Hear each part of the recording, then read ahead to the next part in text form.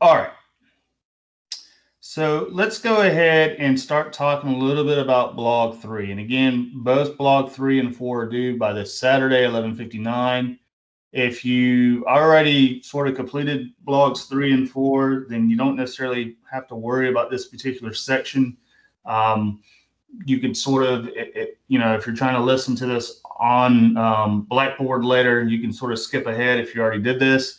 If you haven't done three or four yet and still sort of uneasy about how to go about, approaching, then obviously uh, read the stuff in the book first and then watch the video. Um, if you look here, I'm basically asking three questions for each one of these blogs. Uh, for the first one is basically what is the purpose for you to write on your topic for essay one? So what I'm looking at basically is what is the reason you are writing essay one on your topic? So you want to go a little bit more beyond just, well, Mr. Wilson told me that I needed to write it for a good grade or I want an A there has to be a particular reason why you chose either topic one, two, or three, and why you want to write two to four pages on it. Uh, because everybody has that goal in mind that it's a requirement. I need to turn it in before this date. I want to get the A or the good grade on it. Uh, but not everybody has a similar reason as it relates to your own personal topic, the one that you chose. So that's the only thing I'm looking for there. One sentence will be suffice. You don't have to give me paragraphs. You don't have to give me a novel. Just give me one sentence that answers that question. And for pretty much all of these questions, I just need one sentence. You want to be complete, you want to be straightforward, you want to be concise. I should be able to get, you know, the answer from your one sentence. Uh, number two, what is who is the audience for your essay one? So think about the individual or groups whom you are addressing in essay one. Now, obviously, I'm going to be one part of the audience member because I'm the teacher. I'm going to be grading the essay at the end.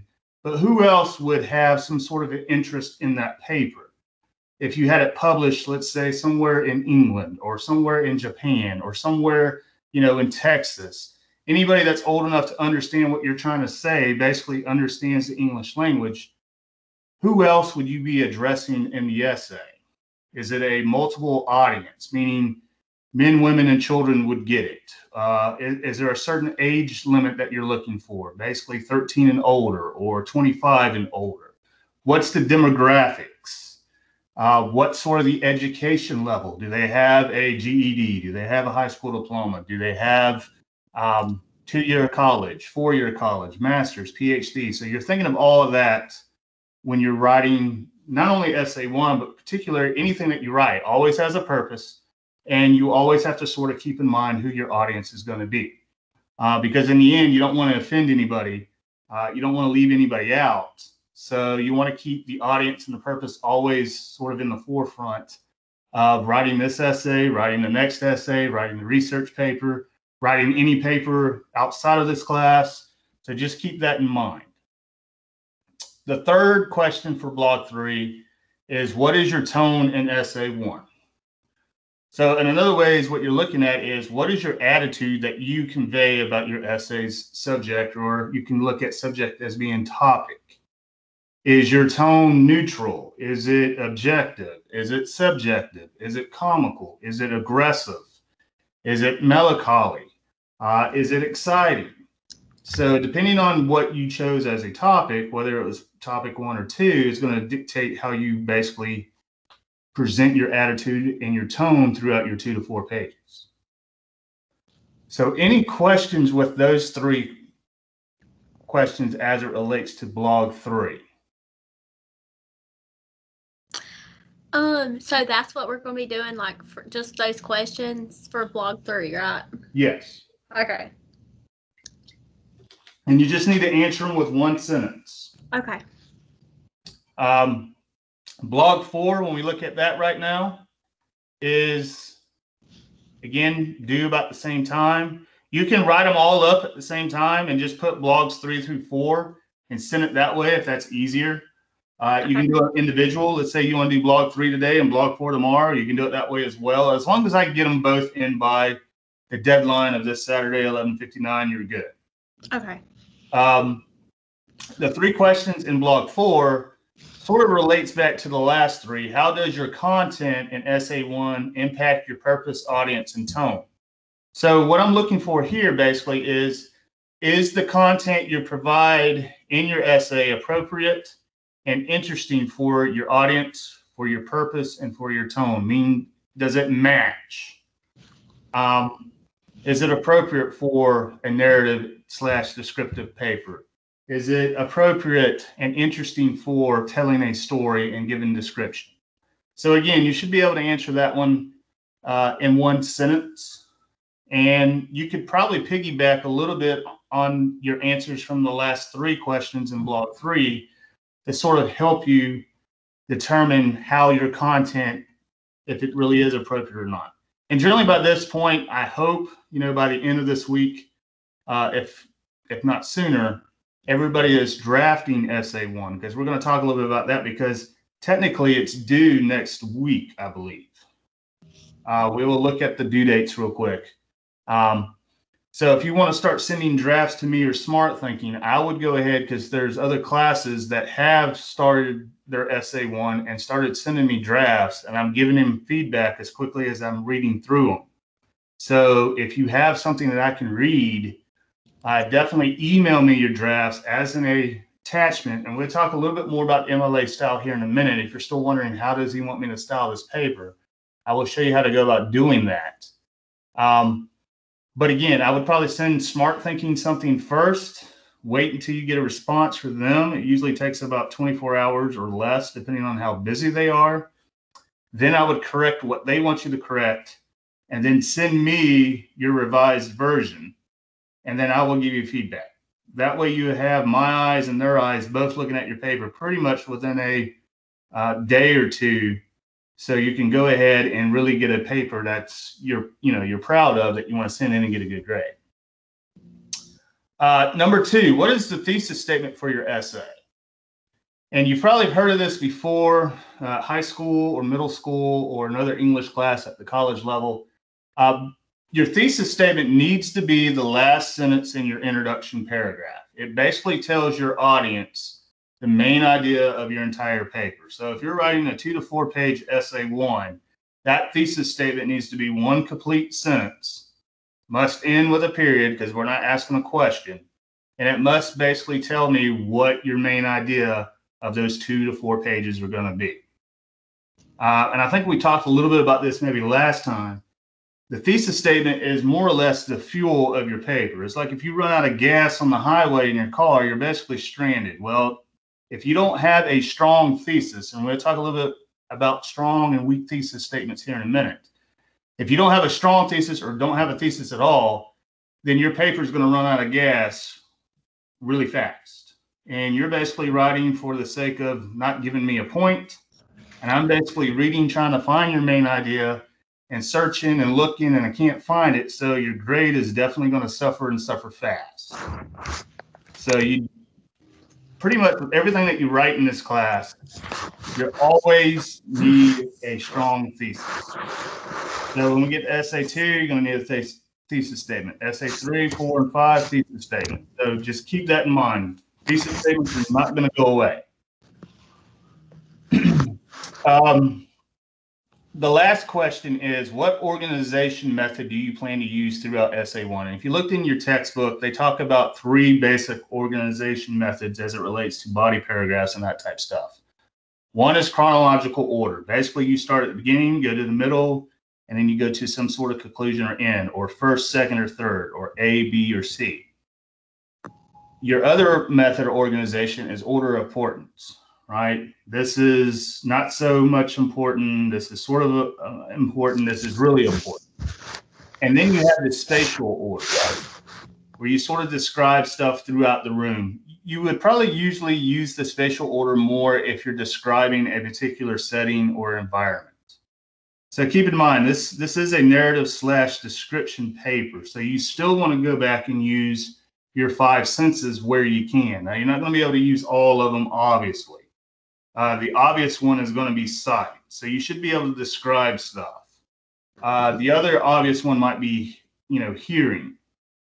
Um, touch and taste may be a little difficult depending on what you're doing. Um, and smell, you might be able to do smell relatively easy depending on your topic. So when I'm thinking about your uh, five senses, I'm thinking you can use at least three out of the five uh, to create that movable picture in my mind. Because again, you're not only trying to tell a good story, you're also wanting to tell with your adjectives, with your descriptive words, with your senses, you want to describe a good story too. So that's blog four pretty much in a nutshell. Three questions, three answers. Three complete sentences is all I need. So if you look total, you're basically answering six questions and giving me six complete sentences. That is what is due definitely Saturday by 11:59. Any questions with blogs three or four now? I think that one. I think I got that one now. Okay. Makes a little bit more sense. Yes, I was so like I didn't when I was reading it. It said a group, and that that's what threw me off. I'm sorry. I've probably Yeah, it's probably because of the textbook, and usually we would have if you were in a class. gotcha. We would probably do a lot more of these with groups. Uh, but since we're online and everybody has different schedules, it's really Right. hard to pick partners and get in groups. Yeah, I'd rather do it by myself, anyways. That's why I was like wondering, like, um, Okay. Uh, let's take a look at what thesis statements are, right? A, thes- a thesis statement must have the following qualities. It must be arguable, meaning for it must state a point of view or judgment about your topic. It must be supportable, for it must contain a point of view that can be supported with evidence, such as reasons, facts, stats, examples. It must be uh, specific enough, or it must be precise enough to allow for a coherent argument and remain focused on your topic. So you don't want to get that was the whole purpose of doing blog two, the outline, because the outline is supposed to sort of give you the blueprint of how you're going to go ahead and start structuring your paragraphs. What are you going to have in those particular paragraphs? So if you look down here, I give you a couple examples, and of course, there's about you know eight more in your book um, of strong thesis statements. The thesis statements that yours should sort of resemble when you're doing essay one and essay two and essay three. So if you look at this first one, it says exposing children from an early age to the dangers of drug abuse is a sure method of preventing future drug addicts. Well, if you look, it is arguable because folks can kind of read that paper and say, well, I agree with your argument, but what about those that sort of slip through the cracks, right? They've been um, exposed to dangers of drug abuse, but when they turn 16, they still sort of, you know, picked up, you know, smoking um, marijuana or cocaine or, you know, abusing alcohol. So we can argue that point. This particular paper would be supported, right? You're going to assume that the the writer of this thesis statement is going to have reasons, facts, examples, maybe secondary sources from like research stuff. And it's also pretty much specific. It's precise, meaning it's one sentence long and it's not giving me four or five different particular topics that you want to sort of argue for or against. It's sort of focusing basically on the dangers of drug abuse and exposing children at a young age to that danger that hopefully, as time goes on, it will prevent future drug addicts.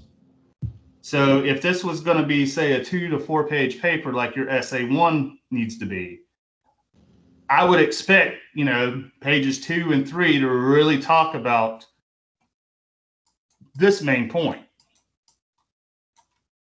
And with your paragraphs sort of leaning back or, you know, coming back to this main idea of your paper. The next one deals mainly with uh, literary analysis, stuff that if you were going to take like a 1102 course, or if you've taken a high school English course where you're talking about novels and short stories and that type deal, we have a, you know, one of those literary thesis. But again, as you can tell, it, it there's an argument to it. There's going to be support. We we just assume because we don't have the entire paper here and it is specific enough. And even though this sentence looks like it is two sentences, it's really one long, lengthy sentence, which is fine um, because it fits the criteria of what a strong thesis statement needs to be. Weak thesis statements are the ones that you need to try to avoid, or if you don't have one at all. Um, again, your book lists a couple other weak th- thesis statements, but here are a couple of ones that I've seen in the past of previous papers I've had to grade. So my paper will explain why imagination is more important than knowledge. Well, again, you don't want to give any kind of uh, description of what you will discuss in your paper or declaration of your subject. You're writing the paper. I should know by your thesis what you're going to explain anyway. This is just redundant and it's telling me you don't really have a thesis statement and you don't really know where you're going to go in the next two to four pages. So when I read that, then I'm already knowing by the time I get to your second paragraph, ugh, this is not going to be a good paper. Just even, even if your grammar and everything else is on point, your method of organization, your development, your structure, your, you know, your content is just not going to be there. And this paper would probably break down about page two as well. So you're going to sit there and write a three or four page paper and not be happy with the grade you get because you're basically typing to nowhere. You're not taking me to a point or a journey. Um, so it's going to be sort of like a waste of time for both of us. Waste of time for me to read and grade, and waste of time for you to type because you don't have a strong thesis. The next one sort of gives a unreasonable or outrageous claim or insults, you know, the opposing side. So you want to be careful about giving thesis statements that do that, right? Uh, because again, at some point, you're going to run out of ideas to how to make that claim work. And it usually comes about the second or the third page. So be careful that you're not insulting, you know, the opposite side and you're not giving a whole lot of different, I guess you could call it um, like conspiracy theory type stuff without really able to uh, back it up with support. So be careful of those thesis statements. Generally, I see those later in the semester more so than I do with the narrative and descriptive paper. Uh, the next statement pretty much gives a obvious fact. It's something that's hard to disagree with, and it really pretty much gives your audience a dead end approach. And that's saying, like it has here, advertising companies use sex to sell their products. Well, anybody that has a brain and that has watched ads for the last 15 or 20 years would know that. There's nothing that you can disagree there. There's nothing that you can, you know, prove or disprove because it's already there, right? Um, the person using that lipstick is trying to sell you on that lipstick so you can have lips just like that actress. Um, it's just like if it bleeds in the news, right? Bad news usually gets more ratings. It's just sort of it's obvious. We know that. Um, think about some of the news that you might might have heard or read or watched lately. There's nothing good in the news anymore, and if they do uh, produce any good news, it's usually the last two minutes before it ends. So the first, you know, hour or 30 minutes is always about somebody getting shot, killed, maimed, uh, protest, riot. Um, they're hating Donald Trump. They're hating the Democrats. There's nothing good in the news um, because nobody likes to hear good news anymore. I guess they they like to hear the violence. They like to see uh, people get hurt, um, and it's really sort of a sick way to, to think about it. But that's how it always been for a while. I mean, if you go back to YouTube and look at the news 20 years ago, it's still sort of the same. Um, I think it's just getting a little bit worse now and aggressive more, but it's still back then. Just like uh, sex selling advertising, right? Hair products, dresses, shoes. It was back there in the 1950s. Um, so just be careful of giving obvious thesis statements.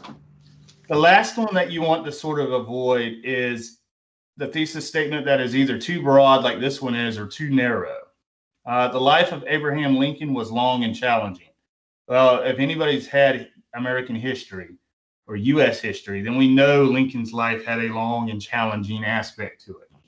Again, if I can read your thesis statement and have to sort of ask the question, so what? and you can't really give me a strong answer to the so what, then chances are either you have a really weak thesis statement or you don't have one at all. So you want to be careful about those particular pitfalls because, like I said, this stuff is not just going to go away with essay one. You're going to have to remember it for the next essay, for the essay in October, for the stuff in November. So it builds. Any questions about the strong versus the weak thesis statement? I don't think I have any questions. Okay. If we look to, I talk a little bit about topic sentences, and there's information in last week and this week's uh, reading about topic sentences. And basically, what a topic sentence is, is sort of like a mini thesis statement for your particular body paragraph. Each one of your body paragraphs in your essay always needs to have as its first sentence the topic sentence. Because what's going to happen with that topic sentence, if it's written well, the topic sentence is going to express the main idea of that particular paragraph. So that's why it needs to be one sentence in length, and it really only needs to contain one idea. Because really, if you look at it, go by the rule of one idea per paragraph. Because if you try to jam in four or five ideas in one paragraph, one, you you may get lost as the writer. Two, the reader's going to get lost. And three, your paragraph is just going to be really, really long and awkward that we're not really going to get your main point or message that you're trying to get across. So you want to use paragraph breaks, right? You want to break a paragraph when you start to talk about a new topic or, or start a new paragraph. So that's where the whole deal of getting out of writing the five paragraph hamburger essay like you've probably written before in the past, where you have the introduction, three body paragraphs, and the conclusion. At this level in college, you're probably and you will need to write more than three body paragraphs. Um, now, with essay one, the five paragraph uh, theme works fairly well. You might be able to get away with it, you know, doing it with essay one, but when we get to essay two, and that paper needs to be, let's say, um, four to five pages, then you might need to write, you know, the introduction and conclusion are obviously one and two paragraphs you may have to do five or six body paragraphs just to get to page four and five. So with each new essay that we do, we're upping the page length and we're upping the word count. So you're going to have to write longer and more paragraphs, especially when we get close to November and you've got to do a six to eight page research paper. You're going to have to probably have anywhere from 15 to 20 paragraphs to make that limit. Otherwise, you're going to be short six pages and it's not going to help your grade when it comes to that. Um, and that's why we take a little bit with each essay, we up the paper length a little bit. So to get, get you practice writing longer paragraphs, writing longer and concise sentences, uh, using more words effectively instead of fluff, right? There's a difference between fluff in a paper and using the right type of diction and words that you need, um, which that's why we take August, September, October, November to sort of get y'all prepared to do that research paper. And we hope by the time you leave in December, you have the tools that you could do any type of research paper for any other class after you leave this one. Because chances are you're going to have to write another research paper, maybe more than once, before you graduate.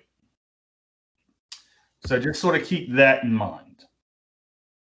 Uh, the other thing, sort of some due dates to sort of look at. Again, last week I gave you in the week one folder uh, some pages to look at that deal with sample essays. So if you're still sort of, what does he want me to, how, how does he want me to style my paper?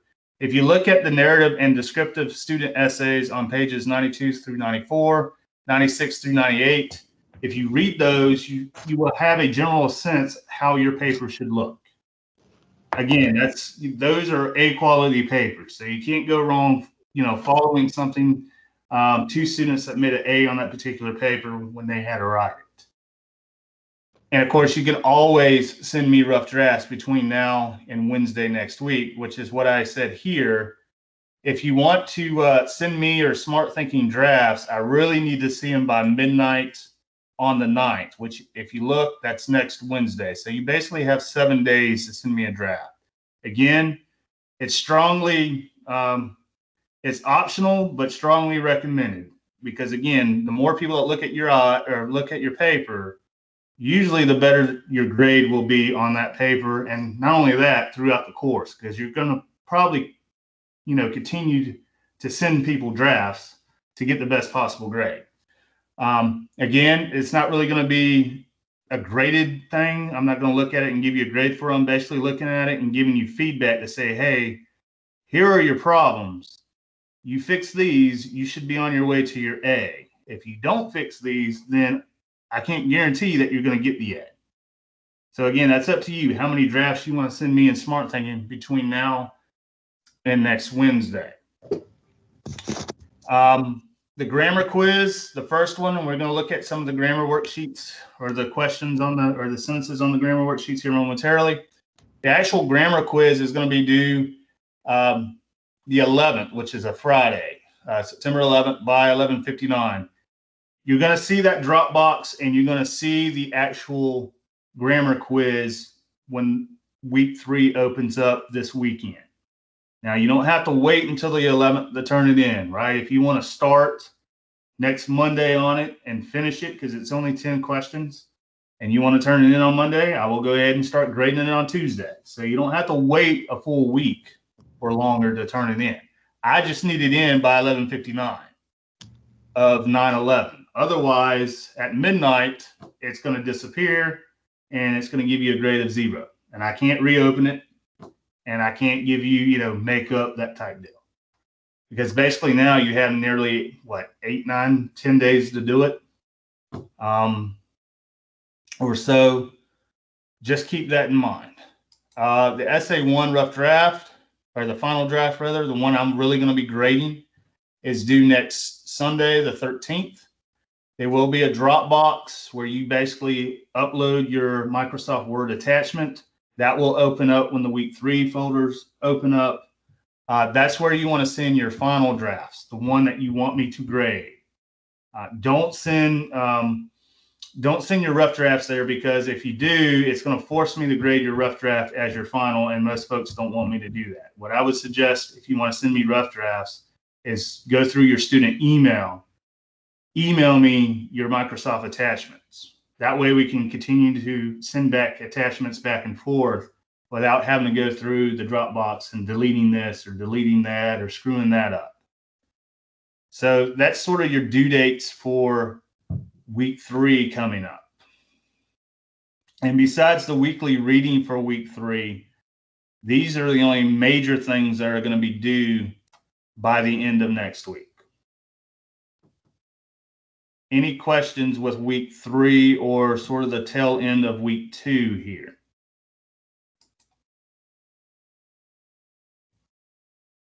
Yes, no? I guess everybody's good? Yes, I'm good. Okay. So let's look back at the grammar. Uh, again, the grammar basically was practice. This I only narrowed it down to the 15 that you needed to do for this week. Next week, you need to finish 16 through 30. Um, it's practice, meaning I will mark it for being wrong, but if you do all of them, I will give you that 100 for giving it the good old college try. But I will show you originally what you would make had it been quiz that I had to grade. So if you get a grade that's lower, just know it's up there for a couple, you know, for a couple hours just to say, hey, you really need to focus on this particular error because when you got to do the actual quiz next week, if you do it, that particular error again, it's going to hurt your grade.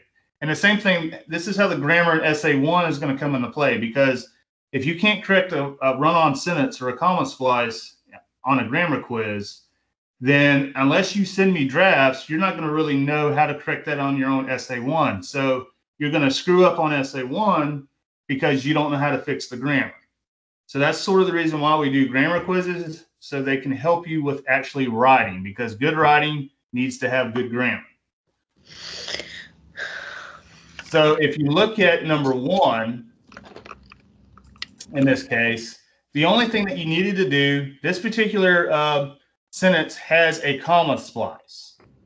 And what a comma splice is, is basically you're using a comma between two complete thoughts um, where you don't need to have a comma. So in this case, we're using a transitional word there with hence. And if you use a transitional word in the middle of your sentence, you do need a comma at the end, but at the beginning, you always punctuate it with a semicolon. So keep that in mind if you're using transitional words in essay one. You always have a semicolon, your transition word, and then your comma. So on the quiz, that's all you would have to do. You don't have to rewrite the sentence. You just have to tell me that, hey, you need to get rid of the comma and you need to put the uh, semicolon there. Okay, I did it on my on my own. Like I actually like rewrote the sen- sentences and everything. Yeah, I think you most folks want to overthink the grammar stuff and they don't really need to because usually with these you only need to do a couple changes and that's it. Gotcha. Oh my gosh. So if you look at number two, number two is similar. It's a comma splice. So what you have to do, I allow the comma to actually help me because you probably heard of the word coordinating conjunctions or the acronym fanboys for, or, and, nor, yet, so, but, that type deal. So there I put comma for because I do have two complete thoughts, but I need to join them. And the way to join, join them is by just putting the for after the comma. Then I'm done. I don't have to do anything else to it. That's all you had to do. So if you had something like that on your quiz, which you probably will, just know that, hey, I can use comma and a fanboy. Which fanboy works? You'd have to read to see which one really makes sense logically. But only thing you had to do was put for there, and that would be done. Don't have to rewrite the sentence. Don't have to change much. Number three and four are both what they call fragments. Um, because prior to the red stuff here, it was just running a temperature between 101 and 106. The problem is we don't have a main verb, so we need is there. Running is not a uh, verb in this case. And we needed a subject. Somebody had to be running that temperature. So that's why I just made up a name and put Peter. Now you could put I, or you could put Joe, or you could put Christy. It doesn't really matter. As long as you have a subject and a complete verb now, that completes the run on sentence or the fragmented sentence in this case. Number four is more of a fragment too. The only thing that you needed to do was get rid of and because generally you don't want to start sentences with coordinating conjunctions or fanboys. So if you find yourself starting sentences with and, but, yet, so get out of that habit because 95% of the t- time you're going to create a fragment on yourself. So again, the only thing I needed to do is I needed a subject. Well, I put I there because I corresponds with my again. I won't have to change that out. Now, if you did this, if you did something like Jessica, then you need to change the pronoun to her. Right? You could go that way and you would still get credit. I would go with what, you know, what's easiest. Work smarter, don't work harder. Don't over, you know, don't overthink this grammar quiz stuff. You have nearly two or three weeks when it comes to essays to be a little bit more experimental with how you style your sentences. But with the grammar quiz, they're only going to be 10 questions. They're going to be 10 points apiece. You want to do what's going to give you that A. So don't overthink. Yeah, because I definitely did on that one. Um, number five is more or less a run on because without the period, because we have one sentence here and then we have a second sentence there. So you just need to provide a period and capitalize the T. That's all you needed to do. You wanted to give me two sentences instead of one sentence that just keeps running on and on and on and on with no punctuation. And again, that's all you needed to do. There was uh, really, it was that easy and that quick. And it's going to be that easy and that quick on the grammar quiz if you don't overthink it. So on the grammar quiz, you're probably going to have about 30 minutes or so because there's only 10 questions. It should take you maybe 15 minutes max if you really know what you're doing. if you look at number six, we need again add sort of a coordinating conjunction, and we need another. We need to rename or have another noun in the second part of the sentence. So a friend is always willing to help, comma. So a friend's friendship is invaluable. That's all you need to do is put this little bit right there and you're done. No need to re- rewrite the sentence. No need to take more stuff out. No need to add really more stuff in. This was the only thing I had to add in, and that was it. Number seven and eight deal with misplaced modifiers. So again, if you looked at your e-text from pages 195 to about 211 or 216, you're going to review all this stuff. Uh, if you look at the the grammar stuff from last week or this week in your folders, you're going to have more websites that's going to sort of detail a little bit more about coordinating conjunctions, about fragments, about run-ons, about dangling modifiers. So that just is going to enhance your ability to do these worksheets and plus study for that quiz. So if you look at number seven, we needed to uh, move the modifying phrase on the telephone closer to the young man because otherwise, um, I think it was was walking the dog or something here. I think I left that off. Otherwise, what it was saying originally was that the man was walking the dog who was on the telephone. So unless you're Brian Griffin from Family Guy, most real life dogs don't have cell phones and they can't talk on them. So that's why that sentence was really awkwardly written. And a lot of these dangling and misplaced modifiers make you laugh when you actually start reading them out loud. So on the telephone goes with the human because humans talk on phones, not animals. If we look at number eight, the same thing w- w- here was that sour was closer to waiter.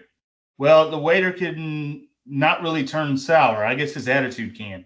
But really, what it was referring to was the wine, right?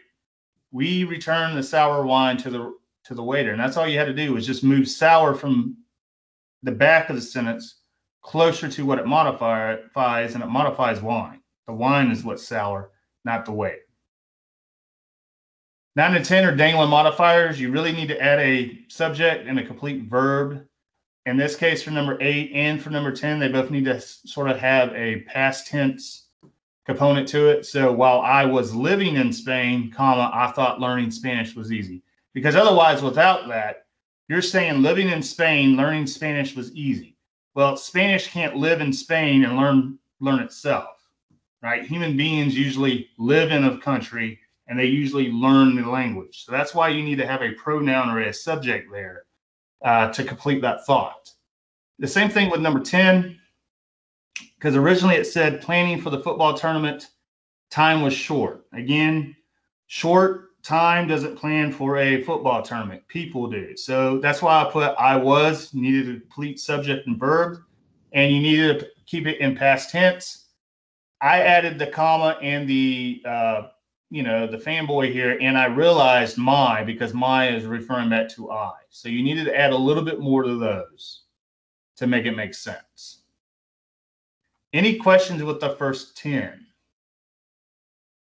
Because usually when I think of essay writing, the fragments, the comma splices, the run-ons, the dangling modifiers, and the misplaced modifiers are usually the big five errors that I see in that first spot or er, in that first uh, paper.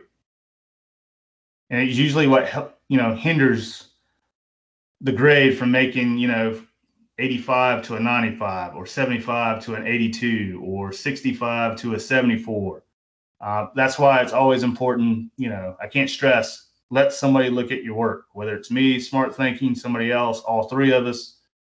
Let somebody read your paper between now and when it's due next weekend. All right, so for number 11 and number 12 and number 13, I'm basically supplying the correct either transitional word or the coordinating conjunction in in the place of the original. So here I would need to have comma and because it makes the most logical sense. With number 13, comma so, again, it makes the most comma, you know, logical sense. Number 12, I put moreover as my transition word because again, it makes the most uh, common sense there to fit both of the, you know, this one sentence with the next. Number 14 was already correct as it is. So keep this in mind. On a 10 question quiz, you may have one or two that are already correct. You're going to have to tell me that. So don't let, you know, a correct sentence fool you up on a quiz because sometimes I throw that in there just to see how well you're paying attention. Um, the other thing is sometimes I use similar sentences that we looked over in our handouts or on the web or in our book as test questions. So if you're keeping up with the stuff in the weekly folders, if you're keeping up with the reading, if you're keeping up with these practice sheets, you may see the same question. It may be changed up a little bit. Instead of putting John, I may put Jessica. Um, but again, it's showing me how much did you pay attention in the last two weeks when we've been talking about this. So don't be surprised if, you know, number seven appears again, but in this case it says the young woman and still walking the dog, it's walking the cat. Could happen. Um, the last one in this particular case deals with parallelism because before it had something just, I think it was to play his guitar. But if you notice, we have an ing with reading first. Mr. Jones enjoys reading. And this is why we need to change uh, the infinitive form more into a past participle form um, or present participle form with ing with playing because it makes sense with saying reading and playing, not reading and play. Um, and that's all you would have to do with number 15. Now for the next, you know, 16 through 30 that you needed, you know, to sort of look at, you can turn in if you want to see if you're going in the right direction. Again, I will give you sort of that, you know, you're giving it good old college try 100 because I see something, you have the next 15 done. I will mark it up though and give you sort of a general indication, hey, you might want to study number 12 a little bit more or number you know number 22 a little bit more or number 30 a little bit more just because you don't want to make that similar mistake one next friday on the on quiz one or next sunday in essay one does that make sense or does that clarify these first 15 yes okay all right um let me see here I think yeah, this is week two. So I did put a um, again with Monday being our video lecture. I put that up. Generally, what's going to have to happen though is uh, because Blackboard only allows you to uh, upload a lot, you know, certain amount of videos every Wednesday or Wednesday at midnight. The video that I put up on Monday is going to go away just so I can have room to put this video up. This video will probably stay up to Saturday or Sunday then it would go away, and then the next week's folder will open up, and you will have that new uh, pre-recorded video for the the following Monday. So just keep that in mind. The videos are only going to be up for you know the first one probably up until Wednesday, uh, the second one probably up to Saturday or Sunday. Uh, what I would suggest, right, because these weekly folders will disappear at the end of the week and open up to the next weekly folder. If you need to print out or save, I would do so probably by Friday or Saturday. One thing that you can do if you don't want to waste a lot of paper is go to that particular site because a lot of these are going to be hyperlinked.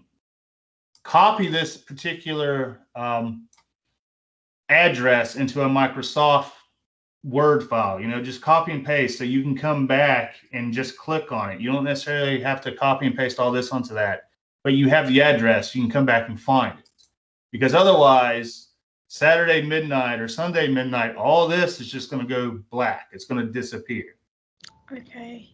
So that's probably what I would do. Um, because if you look, probably on yours right now, mine show these, right? My week three, week four, and week five are grade. On yours, it probably just shows week two.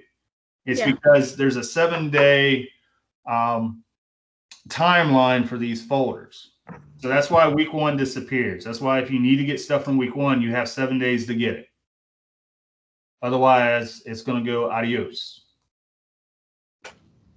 And the same thing with week two. So today's Wednesday. You have the rest of the day Thursday, Friday, Saturday, Sunday. It'll probably be open until about midnight, and bam, that's going to go away too.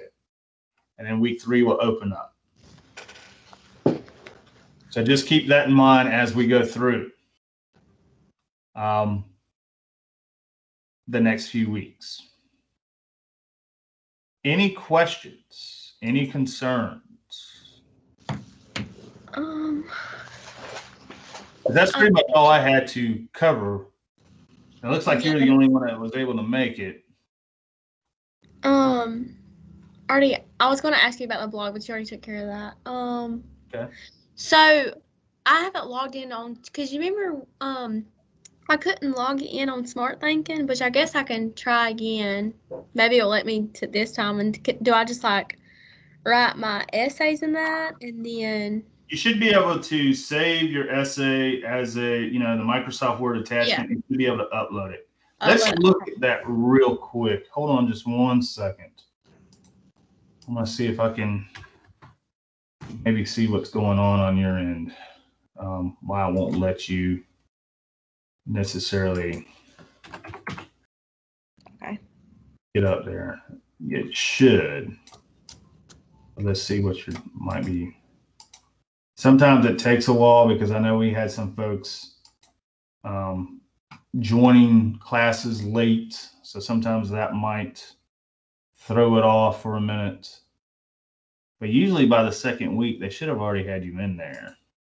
Okay. Yeah, I haven't. I actually So this this, yeah, it looks like this, right? So you need to use your Yeah. Coastal Pines email address. So let me try. Let me see if I can do it on my end with your stuff. So you're probably gonna have to give me your birthday here in a minute. Um, can't get your- Okay. So what's yeah. your birthday?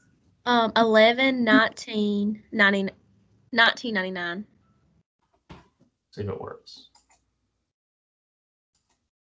Yeah. Or try like it because I think it was like 11, 19, and then you got to do the 1999. Okay, let's see. So 11, 19. 1999. Try that. Yeah. Hmm. I don't know. Let me see if I can talk to somebody that's over this. Okay. Um, I will see what's going on with that. Uh, it could be that it's um, because people are still sort of enrolling in classes a week or so later. It could be they're they're trying to get everybody sort of in place before they. Usually, what they do though, and this is what you could check. Uh, in the past, they usually send emails, and I say either Smarthinking or the college will send you an email to your Coastal Pines account giving you your username and your password, for Password. Okay. So if you you might need to go back and look at your junk mail or your trash mail because sometimes it gets you know thrown up in there. Um, okay. Because I think one of my students down in Camden said he checked his email the other day and it was there. So it might just be slow moving, or it could be you know hidden somewhere within inside your email. All right. I'll look check- on my yeah, email. double double check that, and if it's not working, let me know as soon as you can, so I can see what I can do on my end. Because I don't really have any control of that. Uh, we have somebody in Waycross that usually works on that, so I'd have to email or, or talk to her about it and see what's going on. Okay. Yes. But in the end, I mean, if Smarthinking doesn't work for SA one, you can always send me drafts, and hopefully by the time we get to SA two, which will be later in September, everything will be working for Smarthinking. Alrighty. But you know, some some folks might be able to log in. Uh, Right. if See, this is your is this your first semester yeah, this is like my. I've never. This is like my first time ever taking college. So. well that could be the other issue it could be since you know if somebody's already in the system you know they've already had a class that, let's say last spring or over the summer their Yeah. stuff is probably already in there it's not going to change because your birthday doesn't change your email address doesn't change doesn't change. Right. so they might be able to log in where being that you're sort of the newbie it's taking a little bit longer because they have to get all the new folks information up in their database okay. So that could be the problem too. But let you know, try again, see if they send you something out. Okay. And if not, let me know. And then I can see what I can do or at least give you an answer to and it could just be, hey, you're new, you gotta wait a couple more days. Yes, sir. That sounds good. Uh, any other questions then? I think that's it. Okay. Um, if I have any more, I'll definitely email you. Yeah, you can always email me or you know, you call or whatever the case may be. Mondays and Wednesdays I'm usually in Brunswick, so I have a good bit of uh, stretch of time after my first class. Okay. Uh, Yes, sir. Tuesdays and Thursdays I'm in Camden. I have three classes there, and sometimes it's it's easier just to email me instead of trying to you know call me on Tuesdays and Thursdays. Okay. Um, but I do have a little bit of time in between. I guess from eleven to about four, I'm kind of free, and then I'm again free from about five thirty to about six thirty. okay. Um, but basically, from like eight to eleven, I have two classes, and then I have a class from four to five twenty. Okay. Yes, sir. All right. I look All right. forward to looking at some of your drafts and grading your blogs, and I hope uh, the grammar stuff didn't scare you too much when you looked at the grade. That's why I was gonna give everybody. yes. When I looked at it, I was grade. like, "Can I redo that?" But I guess like I, I didn't even think about it. Like I, I should have looked. I should have actually looked at the notes before I went ahead and jumped on it. But next time I'll know. Yeah, and it's just practice. It's just to say, hey, Yeah. If you want to do better because the quiz is coming, you don't want to make, you know, you don't want to make the 44 or whatever it was. So Right. Yes, Um, sir. it's just there in, in a lot of ways to, to show me how much you know and to show yourself how much studying you really need to do. Need to do. Yeah. I was also is the textbook like on the blackboard? It Yeah. will it will say like the is that what is that it? What we have to like um This one here. yes, is that Yep. what we like? Okay, that's what I was making sure of too. Yep, that's the only textbook we need. Okay. So you just go through there, and if you look on like your checklist, or if you look on the syllabus, I give you the page numbers or what the fine stuff. The stuff that's not in your textbook is the reason why I have the lesson folders. That's Okay. where I can upload the other stuff or give you additional information about some of the stuff that's in the textbook. Okay, sounds perfect. So in a lot of ways, it's sort of a double whammy, but certain aspects of the test textbook is kind of lacking. That's why I give you a little bit more information about narration. If you know you read the textbook and say, "Well, that's it," there's only two pages about narration. Well, if you come here, you got a web page to kind of look through, give you a little bit more. You got another video you can look at, that type deal. Okay. I think that makes more sense now. Okay. Alrighty, Well- thank you. Thank you. You have a good uh, good weekend and uh, good um, Labor Day, and uh, I'll see everybody. I guess live recording maybe uh, for uh, for Wednesday. Okay, at the same time. Yeah, uh, I think that works. Does it work for you? The three to Yeah, it four. works perfect for me actually. Okay. Morning Yeah. aren't best for me because I have work. Okay. Yeah, and I think that's why a lot of folks can't attend. But I wanted to give everybody a chance to have a pre-recorded and a live one. Uh, Being that uh, Monday is Labor Day, I don't know if I'm going to be able to get a pre-recorded video out. So it may just be that we have this, but you can Okay. always email me. Yes, sir. All right. All right. Well, you have a good good Wednesday. You too. Thank you. Bye bye. Bye.